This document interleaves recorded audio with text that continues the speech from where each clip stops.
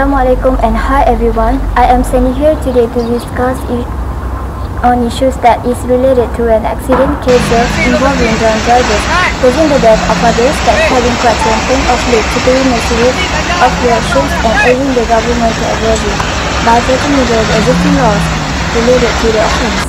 Drink driving has recently become a hot topic again in Malaysia following the spate of fatal road accidents involving drivers suspected of driving while intoxicated with alcohol. One by one, the reported cases of motorists driving under the influence of alcohol continue to spark outrage among the people who want the government to take a holistic action against reckless drivers.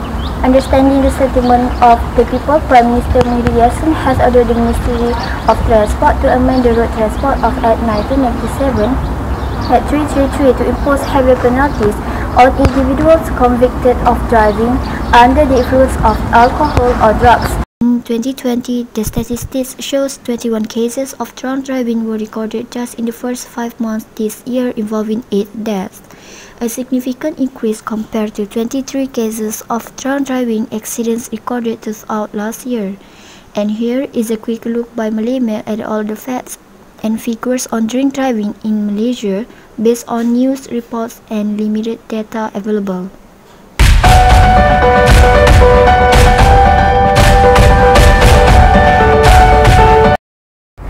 Driving after consuming an alcohol is one of the biggest crimes and this action can cause harm and putting others innocent driver on the road in danger. This is because it takes a longer time to absorb the amount of alcohol that you consume into your bloodstream and the individuals who consuming an alcohol amount of alcohol can cause slowing down by in breathing and delay in cognitive skills such as ability to concentrate, make good judgments and quickly react to situations. For example, excessive alcohol consumption can give impact, negative impact to your vision. After being drunk, your vision will be blurry as the alcohol will slowly affect the function of eye muscle, alter the eye movement and alter the visual perception. Thus, drink driving tends to sudden stopping the vehicles racing or zigzag, being careless while reversing and daydreaming or tired, uh, feel and feel sleepy. Thus, motorists should not drive when under the influence of alcohol.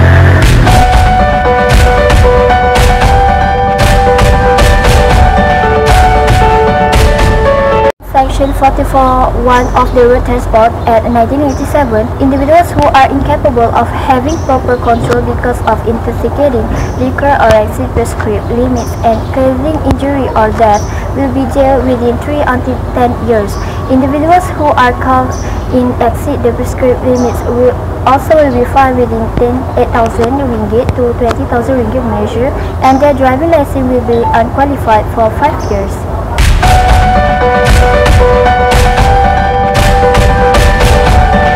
Others' emotion can impact someone affected by drunk driving.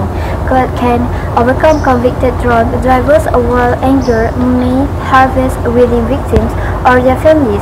There is no permanent remedy that heals feelings of loss, loss and safety. The emotional impact remains forever.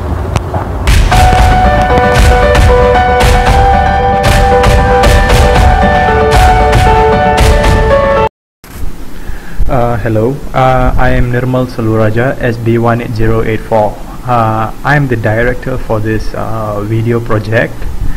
So uh, the current issue is drunken driving and my opinion about it this case has been increasing in Malaysia drastically over the years. So what can I say is that we should all be careful and we, all sh we should all play our role to uh, decrease and if can not to have any more drunken driving. You see uh, it's not just the driver who's involved in this it's also a second party. If the driver go goes and crashes onto someone and not just that someone the victim is gonna be affected but also the family members behind the driver and also the victim. So we should all play our part and try to reduce this. And for enforcement the law should be enforced very strictly uh, towards uh, nightclubs pubs and so on so that this can be prevented. Thank you. Must punish and then uh, we must change the law saying that uh, the drunken drivers must punish uh, severe action at the must take the severe action. Same time the victims all uh, must uh, have uh, new rules saying that uh, the who the it's the something like the drivers like the drunken drivers must taking care of the family something like uh, support for the funeral and then the insurance claim money wise supportive wife okay? Because uh, we do- wouldn't know the victim got a family or not so if there is a family members behind him who uh, who uh, what do you call believe on the victims. Okay so the drunken drivers must support them. Okay must take care, take care of them. Okay in the first part the drunken drivers must uh, what do you call uh, must must uh, what do you call uh, must responsibility must responsibility saying that um, don't drink lah, don't drink while driving. And then uh, if you drive if you're drunk means please don't drive. Okay? There is a cabs outside outside there we got a cabs grabs and then uh, we got a friends outside there who never drink also. Alright? Ask them to drive okay? And then uh, please be safe be safe and then uh, uh, taking care of everyone okay? Thank you. Advice this drunk and drive is not advisable for all of us because once you're drunk you are mentally not a stable person. It will give you a big impact especially your brain will be defect. And you wouldn't know what are you doing while you're driving. So this will cause accident and especially give a lot of problems. So to be honest if you are drunk and dri- if you're drunk please take a cab. We have a grab please take grab and go back home safely. Please think about your family. Your family is important. Entertainment is just a part for drunk. But once you drunk and drive you, you're going to destroy another person. Once you made an accident something that give you a unexpected things it will make you life miserable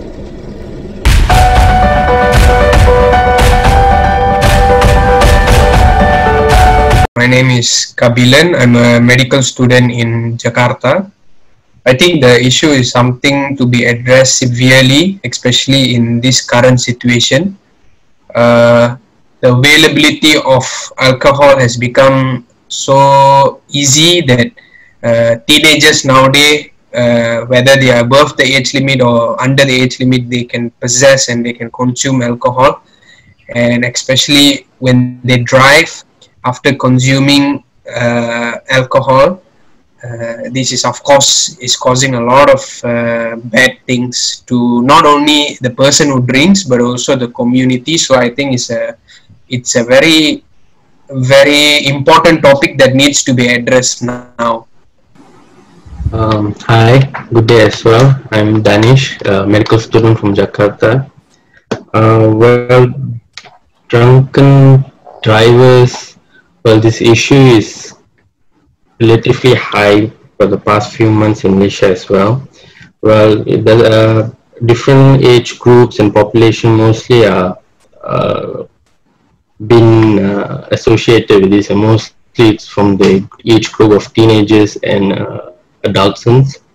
And um, the thing I feel that maybe because of the lack of awareness among them about the issues about uh, abusing alcohol while they driving, especially they should know the law, and secondly they should know the level of alcohol they should be consuming if they want to be driving, especially. But I think from just the medical side, I would say that I think from what I've read from Malaysia, it's 0.08 the alcohol uh, level content is so you should not drink above that. Maybe they can get to know how many ounces of liquor or alcohol they consume so they don't exceed that level so that they don't impair their level of consciousness while driving. So they should be aware. If they are drinking, they might impair their consciousness, which may affect not only themselves but others on the road, which I feel that's a responsibility that everyone should be aware of. So they should drink responsibly and uh, also consider the safety of others while they're on the road.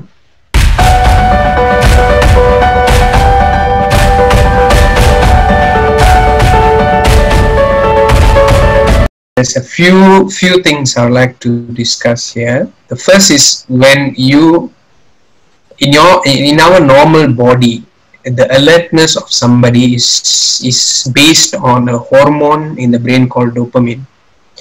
So when you increase your alcohol consumption, your dopamine level will also shoot up.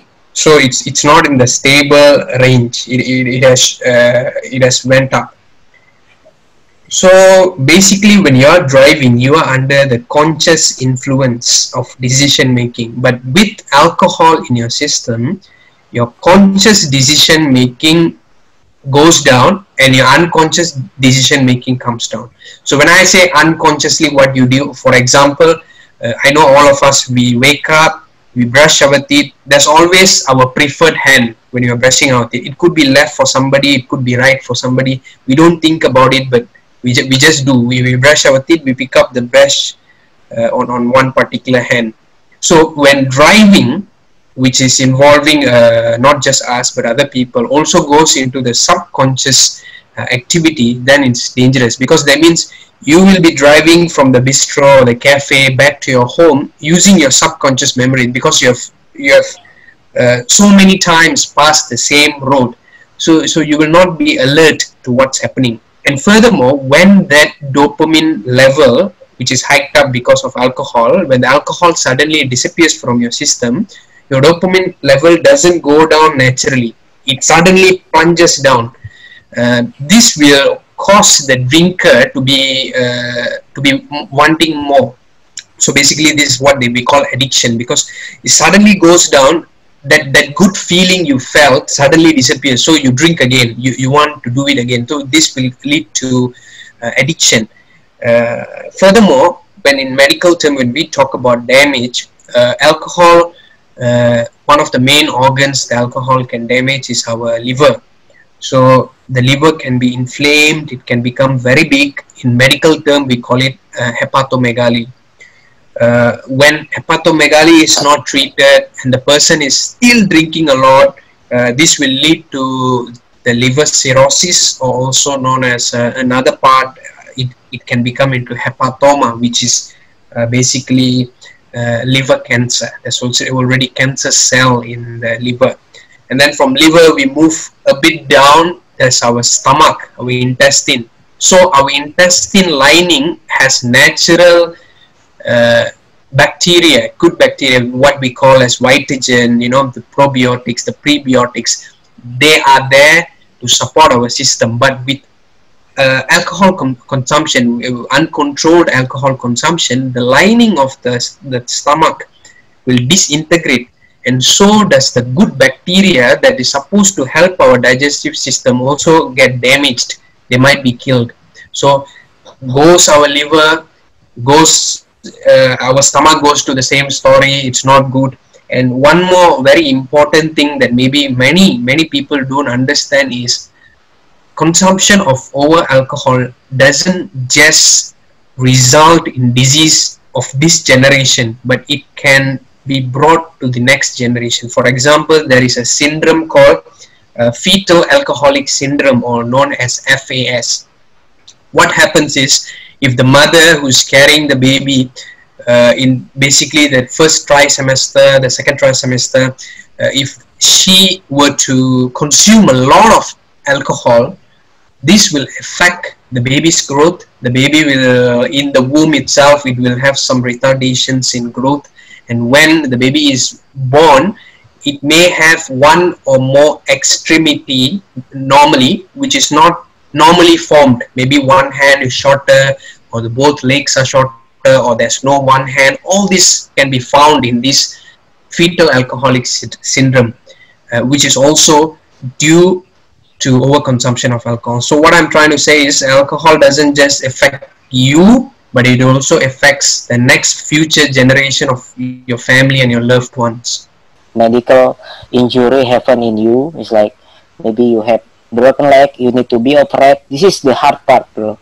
Because if you're going to operate something, if the people is like, if the person is like drink a lot of alcohols, the the doses they give to you for anesthesia is different also. It's not like normal human if you already like quite a lot of drink alcohol daily. So it's like different also. And then sometimes also so they must like uh, make a double doses for your anesthesia. This is the sad part also if you like having so much alcohol. Your body become like uh, I mean, uh, I mean, uh, I agree to both of them what they said. La. I mean, they have spoken quite a lot about the matter. But I'll just add few things, la. Just certain things, maybe as a normal common people who drinks or maybe goes to occasion or party. Just an advice. Maybe since if you are attending or maybe you're a social person who socializes and maybe have a drinks at party usually, I would like to suggest you go to certain websites, trusted website, and just learn about the alcohol that you're consuming. It could be a beer, it could be a wine, it could be liquor, whiskey, vodka, it could be anything else. But you should know that particular liquor, how many percentage does that contain, so that when you can estimate how much you'll be drinking on a daily basis or on that particular party or an event. So when you know how many percentage, I would not say like literally take out a calculator, but you can estimate. Let's just say I have a can of beer, I know how many percent I'm consuming.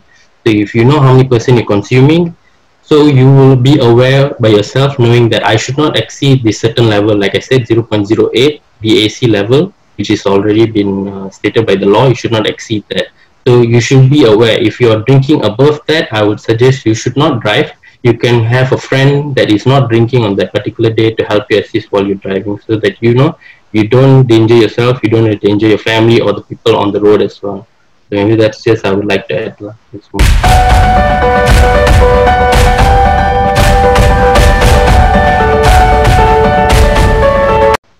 Um, we are not saying that everyone has to consume alcohol, but we know there's a certain group of people they consume alcohol. So be a smart consumer if you're consuming alcohol. Always uh, have approximation of how much you're drinking. Don't just blindly. It's not orange juice just because because it's in orange color. You cannot all drink it up at one shot. You know. So always calculate, always plan if you want to drink, and most importantly, especially with today's uh, e-hailing apps uh, technology like uh, Grab and Uber. So I think this this kind of services is really important, and it, it is helping many people, especially in this case of uh, drunken driving. If you know you are drunk, don't don't you know don't be uh, overconfident just grab a ride back home so it's safe and probably it won't even cost that much. If you get into an accident the whole hassle is so much even worse. Uh, so use e-hailing apps that's very important. And another thing uh, as, as what I say plan not only in just the concentration plan with whom you if you want to you know you're going out for a drink or something. Uh, people who can trust you can trust so all these things are important. Uh, that's I think that that's about from me. Plan and be a smart consumer if you are consuming. If you are not, then then it's very good. Yeah, thank you. The effect of driving casts a ripple in so many lives. Take steps to prevent long-term impacts in anyone's life. How to prevent? In my opinion, a driver or every individual must have taxi numbers and trusted friends number on hand. And most importantly, every bar that serves alcoholic drink need to ensure every driver that came must hand over their car keys. Besides, the government need to take an action to the drunk driving that cause death to other victims on the road by ban their driving license forever. These individuals who cause death are not allowed to drive on the road after causing death to someone's life. Finally, let me assert one more time that a person who are incapable of having proper control because of intoxicating liquor or exceed prescribed limits, should not drive on the road. Always remember to drink responsibly and stay sober. Do not drink and drive. It is not just your life that will be affected. Always remember to protect yourself and the life of our others while on the road and not to add to the rising number numbers of vehicular fatality just because you cannot stop being selfish by drink while driving. So to my viewers, start now. Do not drink and drive. Always remind ourselves and our loved one to never drink and driving.